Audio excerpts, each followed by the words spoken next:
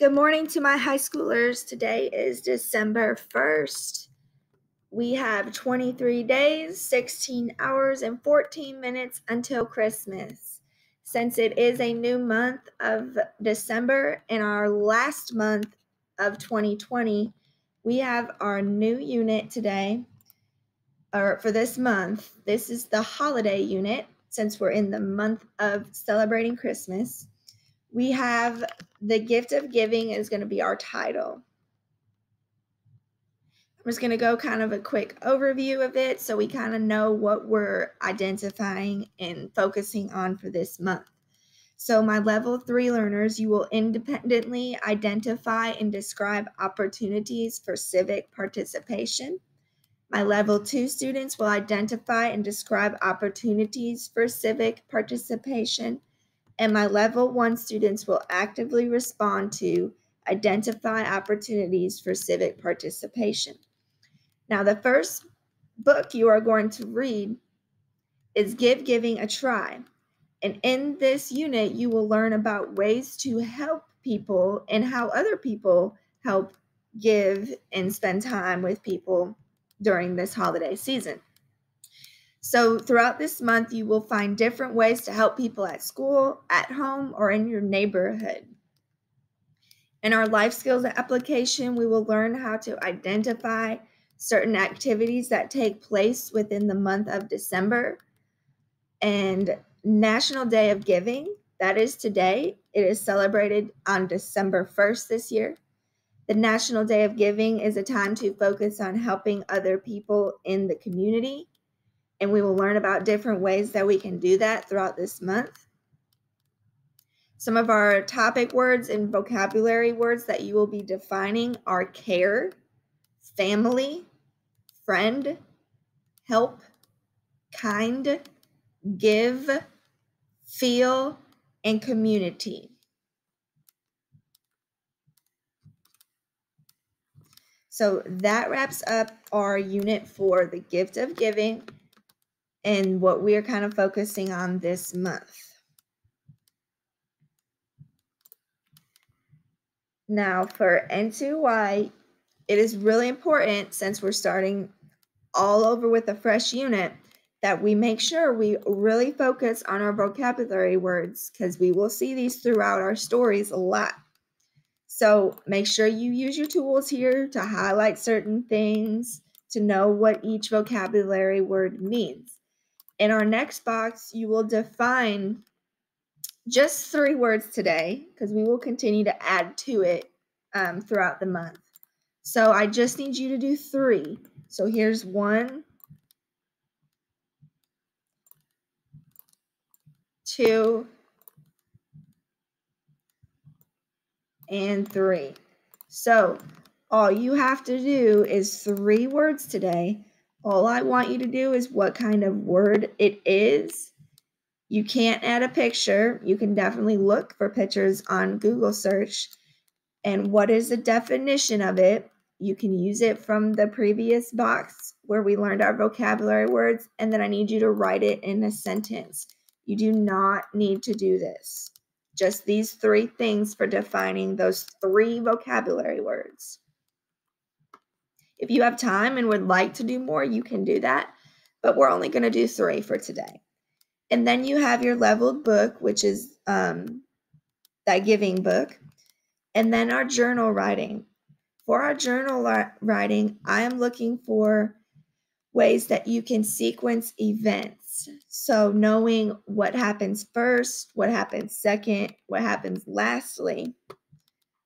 And I guess I'll have to come back to that because it's not loading. Read and comprehend. This is comprehension questions from the leveled book that you will be reading. For math today, math is pretty simple. There's really nothing new, but I really want you to not use a calculator. No, no calculator, okay? No calculator. Try to do this on your own.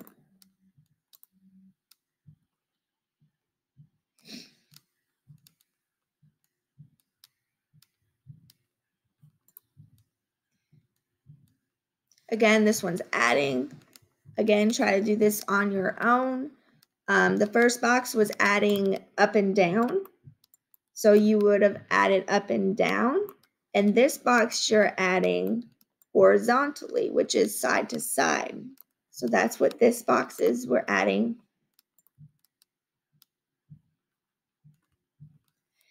Here we will read a chart. So knowing that you can read this is called a pie graph. Each one of these colors represents the color on this chart, on this pie chart. So like yellow represents donating items. So in this yellow triangle of this whole fraction here, one fraction part of it is the 12%, which they donate items for how people help during the holidays. So again, make sure we're looking at the color to identify what people help for during the holidays. In this next box or the next slide, you will then be answering questions about it. So it asks what percent of people donate items during the holiday? So donating items is yellow. So I'm going to look for the yellow here. Donating items. Well, it looks like 12% donate items. So I'm just going to put 12%. Do more people make food or make cards for the holiday season?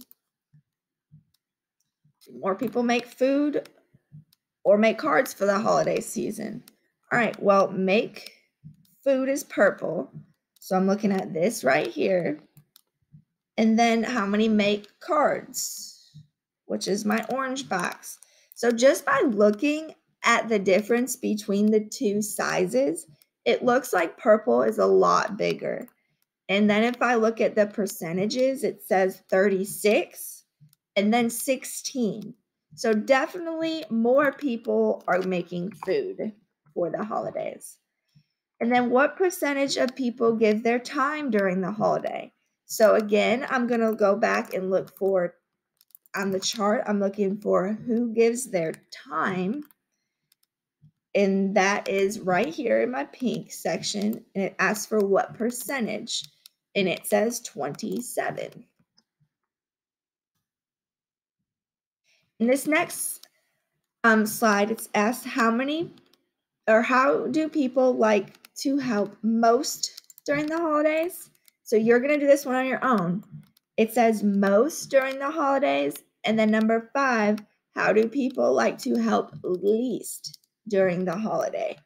So knowing though knowing that keyword most, so you're going to look for the biggest one on this pie chart and then the least, the littlest percentage or color on your pie chart. There's And so next you will do subtracting. Try no calculator once again no calculator, no calculator. Try to do this in your head or on paper or get you some counting tools. You guys can definitely do this, okay, on your own. So that was up and down. The next box then is going to be horizontal, side to side. Here we have our again our positive and negative numbers. Uh, we have learned about this. This is review. Knowing that our negative numbers are to the left of zero and then our positive numbers are to the right of zero. And that's shown right here. All negative numbers are to the left. All positive numbers are to the right of zero So complete what it's asking you to do. Mary Beth is handing out safety pins. She has four safety pins. Drag the blue but drag the blue point to the number of safety pins Mary Beth has on the number line. Choose the sign and fill in the number. So she has four safety pins. So I'm always going to be making sure I'm looking for zero. Here's zero. So I'm going to start at zero. Okay. And then it asks for four safety pins. So I'm going to count four from zero. One, two, three, four. So four safety pins right on here, right on four.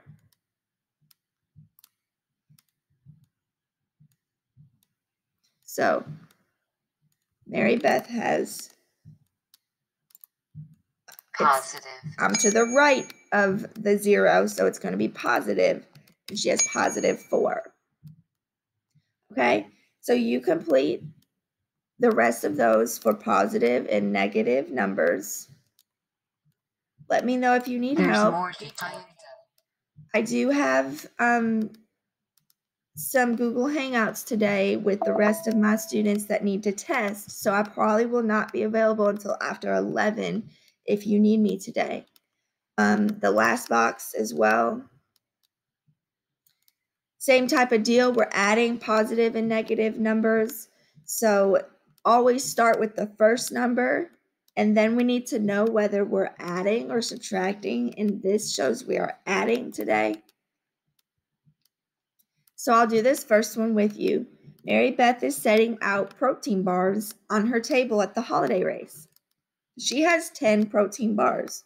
She owes Mario two protein bars. If she gives Mario the protein bar she owes him, how many will she have left?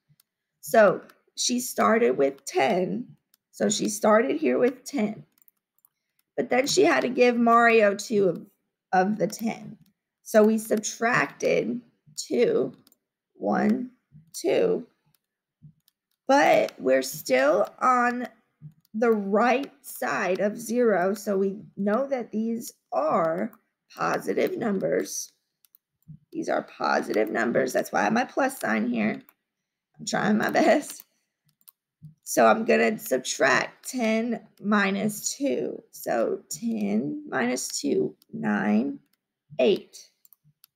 So it's going to be a positive 8 since I'm on the right side of 0. Positive 8. All right.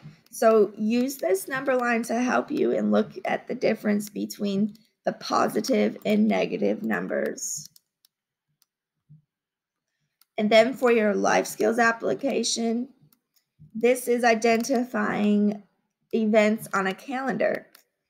So each calendar always has a month on it. There are 12 months within the year.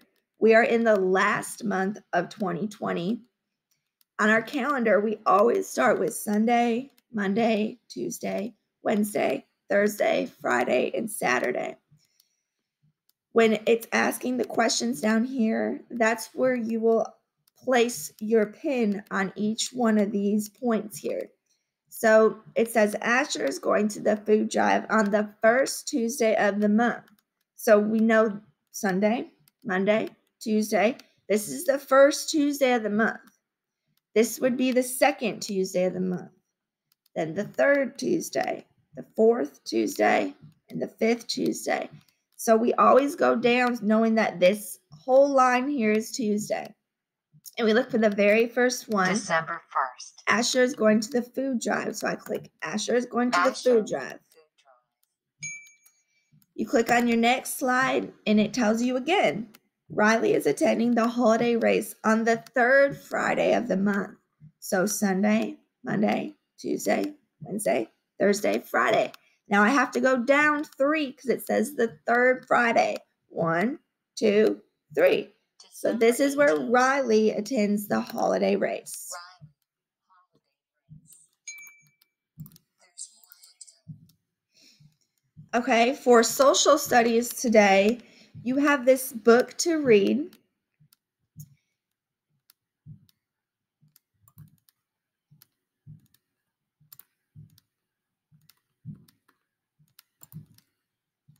Some of our key points here are going to be our communication board here.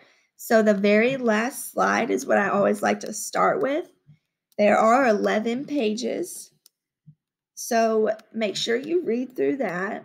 And I tried to kind of tie it into our unit of giving. So you will read that book first, And then this right here is the comprehension questions for that story. Okay, so you will just complete that. Earth, space, and science. You need to make sure you're looking at December because I it starts a new month because it is a new month. And we will start biology this month. So the very first article you will read, we're going to define science. So, our goal is to be able to answer questions through research and evidence. So, if you need help reading this, please ask someone to read it to you. I know some of you had the um, dictation, the voice that speaks to you on your computer, so use that to help you. Again, those bold words are going to be your vocabulary words. And then the summary, it always goes over what the whole reading was about, and then the review of what questions might be asked. After that's done, you have your adaptive practice, then, which is the questions that go along with the reading for our new unit of biology and science. Again, I wanted to remind those Austin, Kaylina, um, she's middle school. Leanne and Lexi, I will see you all today for your November test. I hope everyone has a great day.